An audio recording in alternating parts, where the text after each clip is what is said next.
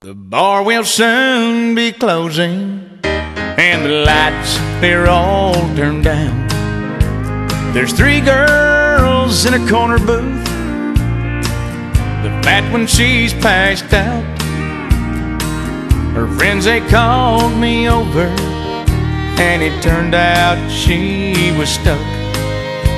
With the help of four big bouncers, we put her in my truck. Me and old Jack Daniels had been together most the night. Somehow he convinced me she was the prettiest thing in sight.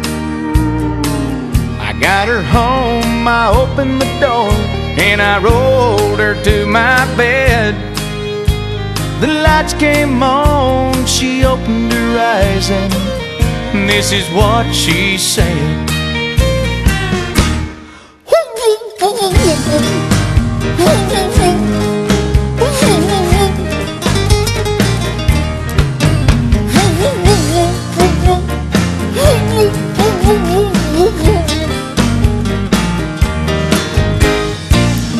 Morning came, that sun was up, and there to my surprise was a big old girl in no clothes on and Oprah Winfrey thighs.